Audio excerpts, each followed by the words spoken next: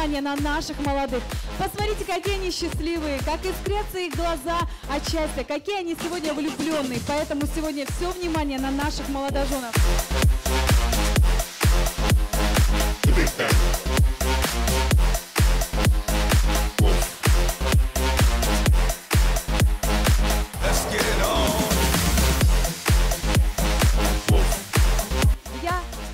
Уверена, что вы будете счастливы, здоровы и обязательно будет мир в вашем доме.